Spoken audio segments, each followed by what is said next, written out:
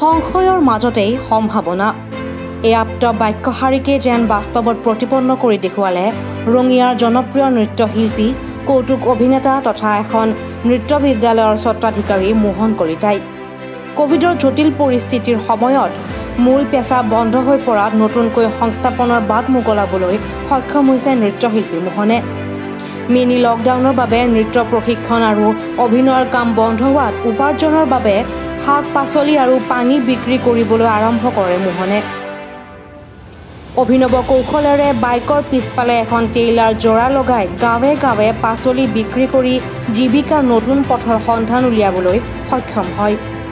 মোহনে শেহতীয়াভাৱে জনপ্ৰিয় কণ্ঠশিল্পী কুসুম কৈলাশৰ ছুপাৰহিট গান বোকাৰ মিউজিক ভিডিঅ'ত অতি সুন্দৰ নৃত্য আৰু অভিনয় কৰি দৰ্শকৰ মন জয় কৰিবলৈ সক্ষম হৈছে।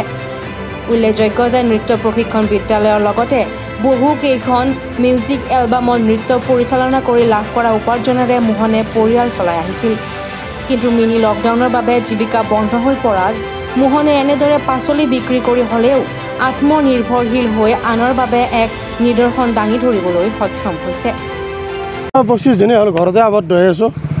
বহুদিন নৃত্যৰ লগত জড়িত হ'ব পৰা নাই। বহাগ বিহুটো আমাৰ বন্ধ হৈ গ'ল। যোৱা দুই বছৰেই হ'ল। লকডাউনত আমি আৰু যিখিনি টকা আছিল সেইখিনি টকা পইচাৰে পোহপাল দি আছোঁ এতিয়া আৰু মানে যিখিনি আছিল আমাৰ খৰচ এতিয়া আমাৰ অৱস্থা বেয়া।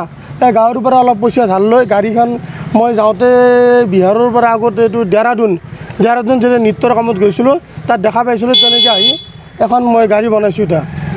গাড়ী বনোৱাৰ পিছত এইখন গাড়ীৰে এতিয়া আজি পাঁচদিন হ'ল পানীৰ বেপাৰৰ চব্জি বেপাৰ আৰম্ভ কৰিছোঁ। আমাৰ প্ৰথমতে গাঁৱত দিলোঁ এতিয়া লাহে লাহে আমি চকতো যাব যায় দিছোঁ।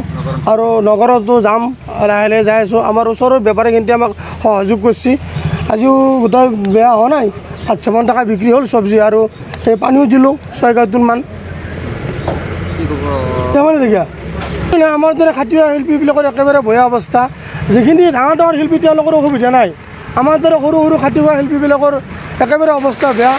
আৰু চৰকাৰক অনুৰোধ কৰিছোঁ যাতে আমাৰ দৰে শিল্পীসকলৰ অলপ খবৰ লৈ যাতে অলপ সহযোগ কৰে আমাক। নহ'লে আমাৰ শিল্পীবিলাক এতিয়া মৰবো এতিয়া খাব নাপায় মৰবো।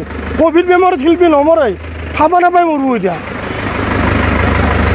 ৰঙিয়াৰ পৰা নিতুল ডেকাৰ ৰিপৰ্ট নিউজ ষ্টাৰ ছেভেন।